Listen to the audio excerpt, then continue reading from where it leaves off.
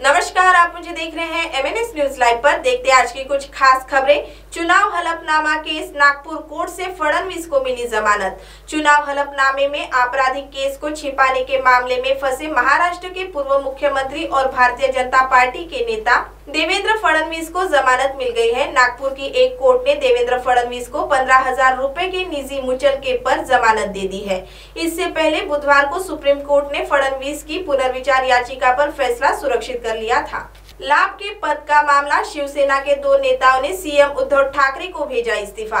महाराष्ट्र में कैबिनेट मंत्री का दर्जा प्राप्त दो शिवसेना नेताओं ने लाभ के पद पर काबिज होने के आरोपों से बचने के लिए अपना इस्तीफा मुख्यमंत्री उद्धव ठाकरे को भेज दिया है। अरविंद सावंत और रविंद्र वायकर को सीएम उद्धव ने कैबिनेट मंत्री के बराबर का दर्जा दिया था। हालाँकि आगामी बजट सत्र में विपक्ष के आरोपों से बचने के लिए पार्टी की ओर से इनके इस्तीफे का फैसला लिया गया है। फ़िलहाल इन दोनों के इस्तीफे पर अंतिम फैसला होना अभी बाकी है।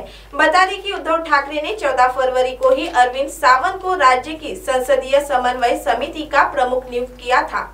इमारत के नवे तल पर जाकर कर्मचारी ने तिरंगे को जलने से बचाया, सीएम उद्धव ठाकरे ने किया सम्मानित। मुंबई के जीएसटी भवन में आग लगने के बाद नवे तल पर जाकर राष्ट्रीय ध्वज तिरंगे को जलने से बचाने वाले कर्मचारी कुणाल जाधव को महाराष्ट्र के सीएम उद्धव ठाकरे ने सम्मानित किया है। बतौर जानकारी जब आग लगी थी, तब जाधव पहले तल पर थे।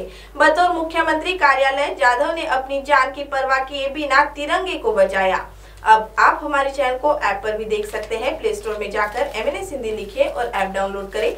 साथ ही साथ आप हमारे फेसबुक पेज को भी लाइक कर सकते हैं और उन पर भी खबरें देख सकते हैं।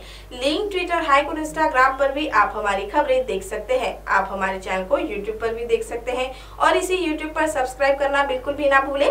फ़िलहाल वक्त हो चला एक ब्रेक का। ब्रेक से लौटने के बाद देश और दुनिया की तमाम बड़ी खबरें देखने के लिए बने रहे एम न्यूज़ लाइव के साथ। नमस्कार।